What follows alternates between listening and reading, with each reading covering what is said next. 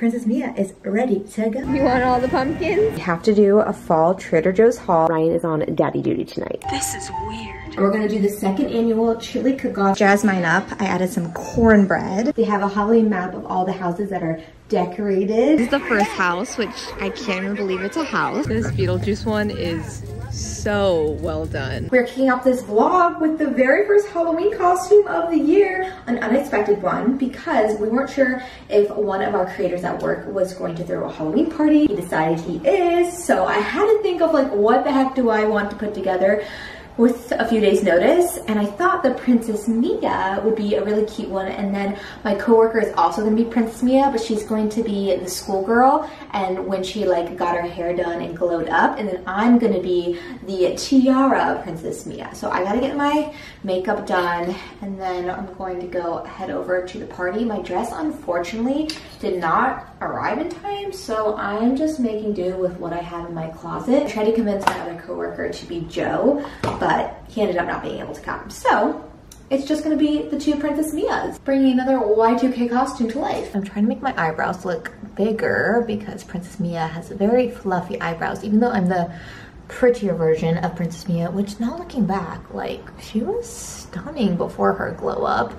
I thought I could just shape these to be a little bit fluffier and look more like Anne Hathaway. By the way, are we not just so excited for Princess Diaries 3. I mean, really, that's why this costume came to life. I thought we must honor the queen of Genovia. This is when I feel like I go a little too overboard for costumes. I have to commit, if we're doing Princess Mia, I have to dye my hair brown, but I could only find a Magic Root cover-up at the Walgreens, so we'll see if this works. Oh, I just got in that eyeball. Oh no, not my forehead. I need to be careful with this. It's working.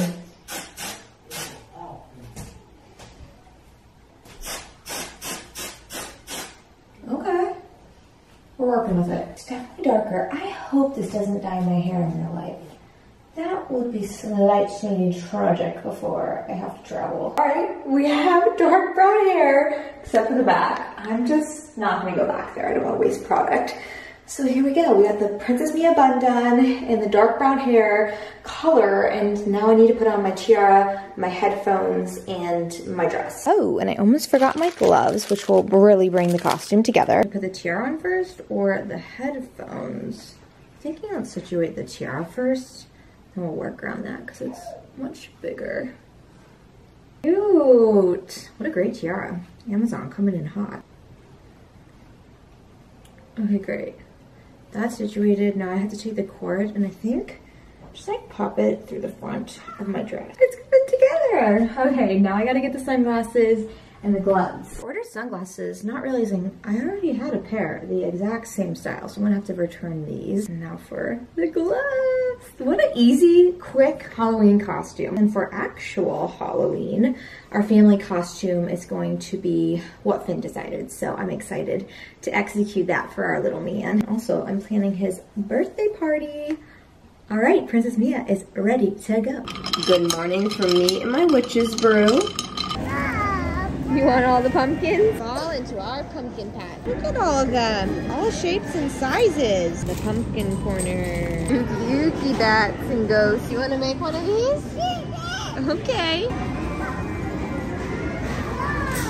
It's that time of year again where we have to do a fall Trader Joe's haul. I have some tried and trues and also some new items. The pumpkin tortilla chips are my favorite to eat with chili. I get a few bags each year and then the fall harvest salsa is also really nice to pair with it. A new item I don't think I've had before is the harvest apple salad kit that has cheddar cheese, apple cinnamon chips, pecans, and an apple vinaigrette. Sounds lovely to go with some of these raviolis. I love the butternut squash. I think that this is probably my favorite over the pumpkin ravioli and this is year round, so win-win. And I do eat butternut squash, squash year round, but typically I like to keep like the pumpkin flavorings for fall. Some Ghost and Bats crispy potato chips for Finn. Then I saw these Halloween sprinkles. I couldn't pass them up. I just thought they were so cute and I want to do some baking with Finn. So we got to think of something that we can use those for. I love getting their organic pumpkin. It's really clean and yummy and we like to make a lot of pumpkin treats during this time of year. The butternut squash mac and cheese honestly has been sold out and I only picked up one just to be kind to others but if I see more I'm going to get more. I love this this time of year. I love the Honeycrisp apple scented candle from there. It's soy wax. It throws pretty well for a small tin can and I already used one up so this is my second one for the season. I love the organic fall zucchetti pasta. This with the bolognese. I love how the little like pumpkin shape has these little holes in the center and then your bolognese can sit in the middle there. I love anything that has a little section things can fall in. It just makes the food taste better. This is one of my favorite as well that I look forward to year round is the creamy Toscano cinnamon dusted cheese. Look, let me show you where it's dusted. It's dusted on the side. It is top tier in my opinion. And then I saw the white Stilton cheese with cranberries.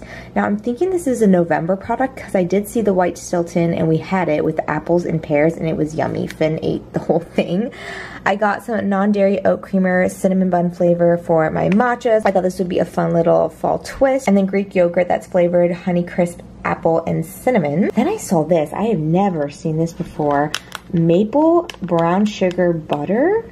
Interesting. Yeah, that's our little Trader Joe's fall haul. And I think my son just woke up from his nappy. Having a friend over for dinner and we're going to probably watch a little movie for Halloween time. I'm just making this fall harvest salad from Trader Joe's. Comes with like this little packet like apple chips, pecans, and apple vinaigrette. Something super simple and easy. Go have that Princess Diaries hair dye in my hair. I need to wash that out tonight. I didn't really film last night just because I was working and just hanging out with my coworkers, so just was being present. It was fun to execute that costume and got me in the mood for Halloween. And our family costume is that yogurt yummies. Ooh, yeah. You look like you're Santa Claus. You're the nightmare before Christmas. You want me to have a bite? Okay, I'm coming. Um.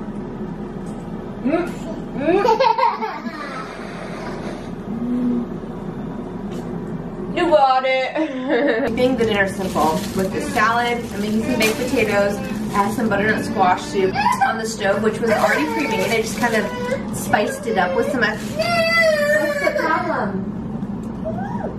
You want me to come back?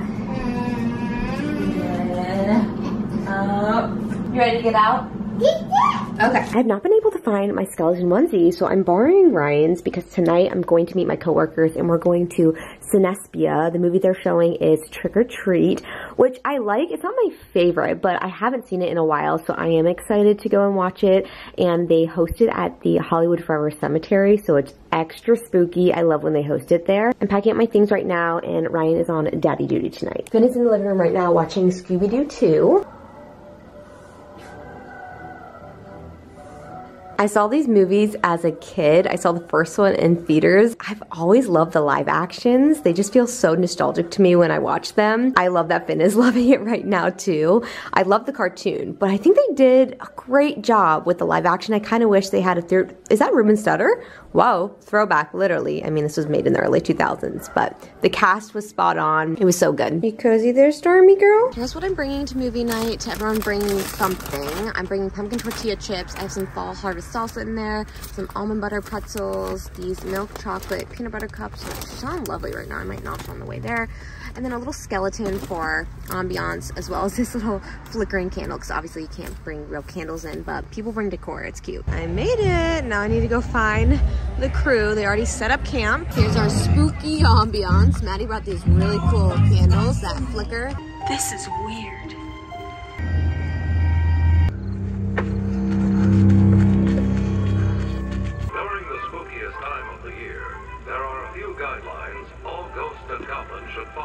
Good morning. Last night's movie was really fun. I forgot how much I liked that movie. I don't think I've seen it many times, but I hadn't seen it in a long time, and it's really creative if you've never seen it. It's not like too overly gory. Today we are making chili. Oh, and happy Sunday. Where are you going? I thought you were gonna help mama. Come on. You want this? Put this in? So Ben's gonna help me make chili. I'm having a few of my coworkers over. And we're gonna do the second annual chili cook-off. I'm keeping it smaller this year because I honestly wasn't really, let me help you, planning to do it. But then my coworkers were asking about it. So I was like, all right, let's do it. Okay. I guess that works. Here, Ben, you wanna put those tomatoes in? You like the three the cumin? Good thing there's not much in there. Just pour the rest in. Good job. All done. You want to go put that in the trash? Mm. Oh, there's still more in there. Try to get the rest. Aggressive. Shake, shake, shake, shake. Okay, I'll pour it in there. Bye-bye. Thank. Pour them in, please. Job. I have one more can we gotta do. I think I'm gonna try a new chili recipe and actually go by recipe and see how this one is. I obviously don't care to win my own chili cook-off. Thought I would just try a new recipe and have fun with it. What's going on with Buzz? Is that your Buzzy? You love your Buzzy? Aww. That is so sweet. He loves you too. Why are you sucking on his eyeball, honey? Are your teeth hurting you? I know. We'll get you some medicine. Okay, you want to do the last can of beans? Got it? Good job. We're headed into Party City because I need to grab some sampling cups for the chili cook-off. And it's also just so fun to come into Party City during Halloween time. I feel like it's very nostalgic for me. Go ahead, explore. Oh, you want to get in? All right. I need you. I like these cobweb bowls for chips and stuff for parties. I also think I'm gonna get him some of these jellies for the windows because he really liked these for Easter. And these are the cheapest I've seen. Ben, you wanna get these? Put them in the back? Yeah. Thank you very much. Let's continue on our journey here. I know those are spooky. Okay, yeah. Remember, these things aren't real. Oh, look at all the things. Yeah, those are also skeletons, but they have pumpkin heads. Yeah. Ooh, ghost face. It doesn't look like they have the wall of costumes. There's the costume from the movie we saw last night. You want this one? Spooky. I don't want to put it on. That's spooky. Do you like this place? Party City didn't have anything that I was looking for. Also, no wall of costumes. Finn is throwing a meltdown because he is so sad to leave Party City. He was obsessed with the balloon wall. Oh boy. Um, we are headed to the grocery store to see if we can find some sampling cups and spoons. For dessert, we're going to keep it simple. I'm to take these Halloween sprinkles sprinkle it over the pumpkin sheet cake from Trader Joe's and then cut them into little squares. And then I also got the little pumpkin mousse cakes and that's about it for the desserts. Last year I did a whole like caramel apple bar, but truthfully, I just don't have the energy to put more into the chili cook-off this year. That's okay. The sprinkles turned out cute. Now I'm just going to cut them into little squares and then plate them up on this tray. Sometimes, you guys, simpler is better because it keeps your sanity. And I'm learning that. And though I love to be a little bit extra with my details of parties, sometimes you just can't go out for every event. And you still have a great time. Got myself somewhat dressed. I also have my little topping station over here in the corner. We're just prepping some of the toppings. Almost time for everyone to come. Yeah. You gonna show everybody your toys? Maddie's out here. She's ready to win. Got a white chicken chili. We're being quiet because Made from scratch, guys. yes. It's family recipe. Oh, One year old recipe. My mom uses the same second recipe. place last year, but she's really added some additional touches so that she can win this year. I'm year. perfecting this recipe. Yeah, and now that we've had a plot twist of toppings are now included, know, I'm, I'm We're all- over I'm here stressed. scrounging. I'm always stressed, guys. I'm, I really am. If you guys have any suggestions, comment below. cannot. You know. Honestly, avocado can't go wrong. Tortilla chips. Uh, no one's done that No, yet. I was, I was. Okay, do you want me to grab these? Yeah, I was like the. the, Do you want these to leave ones? Yeah, Oh, that's a nice touch. Okay. Wow, things are really coming together. Jazz mine up. I added some cornbread and some white cheddar cheese as my toppings. This is a new recipe, so I'm not really like too excited to present it because I don't know what I should have tasted it actually. Let me go and taste it and then I might be able to jazz it up some. Mm. Okay. It's pretty good. I ran out of chili powder, but I'll still do. All right, I'm gonna serve it up. And Paul, since you guys have tied, You guys have tied again. you have tied again. So what does that mean? So you're gonna have to flip a coin. What? and then you guys have to tell who's gonna be heads or tails. Um, award the winner of the chili cook-off into the trophy. It is Maddie's white chicken chili for the win with the jalapeno on top. Dodgers are going to the World Series.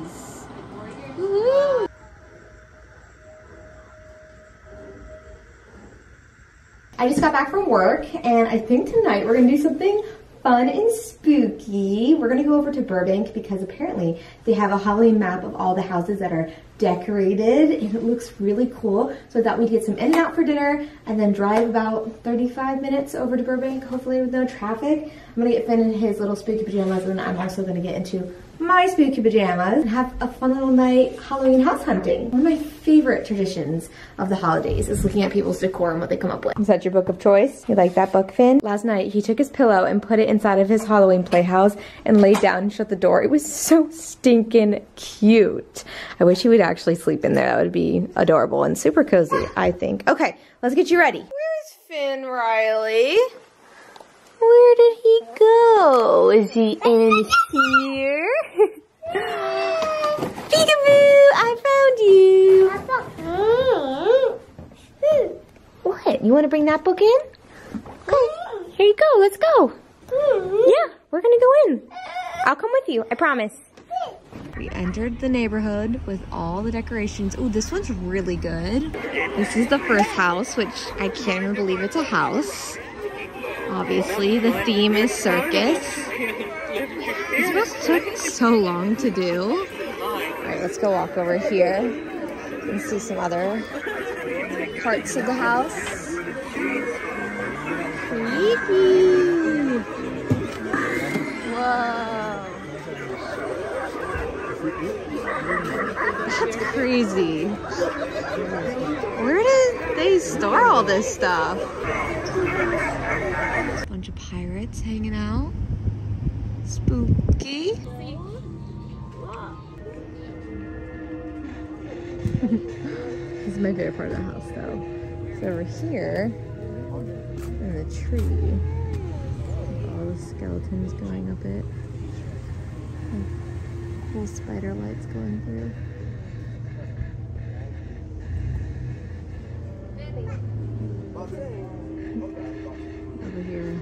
Surgery on an alien. They have the Corpse Bride characters and some Beetlejuice props.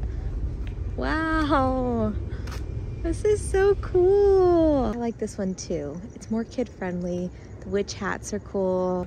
Whoa. Yeah, the Jack is good. I also like the Frank. Oh no, that's the Herman Munster. Exterior illumination is very important. It adds to it. Like this one because most of them have a neon flare to them. Like, where do you find this? Maybe they made it up on their own. I love the little pumpkin lanterns lining the sides. But you feel like you just keep looking and you just keep seeing more and more. So what I like about this map is that it, it literally just gives you the address and you can just go on your own little journey. But most of these streets are already lined with houses, so you don't miss much. You can really just go to one spot and stumble upon a bunch of different ones. Oh, look at this one. Let's go over here and look. I love these tall skeletons. They really pack a punch here. Oh, the skeleton has landed on top of some embers. He's burning. Oh no. This one doesn't really have much of a theme, I don't think. But it's cool. I think I'd go with the witch theme if I had to choose. Haven't seen anyone do that yet. I'm liking the banner lining. We got clowns are the theme, it seems to be around here. Not really for me, but I appreciate the effort. Here's their take on Beetlejuice. skeleton Beetlejuice. Creative. This Beetlejuice one is so well done.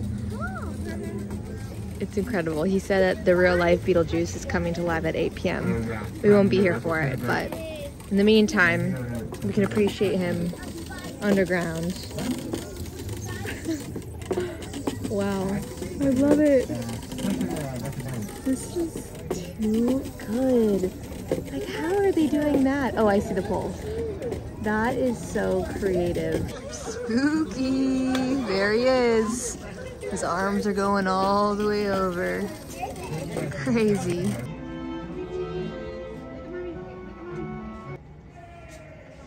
We had to come to another Beetlejuice house because it's the year of Beetlejuice. This one's really well done as well. You can actually interact with it and then it starts playing this song and everything starts to move. And then over here, we have the big serpent crawling. I like that it's interactive so you can push for candy. And then it starts doing all the different animatronics.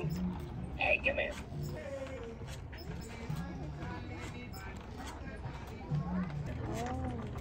This was a really nice touch. I haven't seen anyone else have these characters.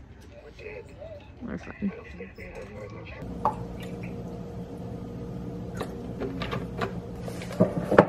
Myself some cold apple cider and I'm gonna go snuggle up and probably watch some sort of Halloween movie. I feel like I'm starting to get the itch to go a bit more spookier and scarier with my movies. So leaning into the Halloweens, the Nightmare Before Christmases. I just really like those like the week of Halloween. I cannot believe it's next week. It's truly blowing my mind how quickly these months are flying by. And I feel like because we went to Vermont, it took away a weekend of like fully enjoying my decor and then we're gone to go home to trick or treat, celebrate Finn's birthday over on the East Coast. So that's another weekend down that I don't get to enjoy my decor, which I'm not complaining about because I absolutely love my trip to Vermont and I have to go back east for Halloween. But it's still just like crazy to wrap my head around how quickly the months truly just fly by.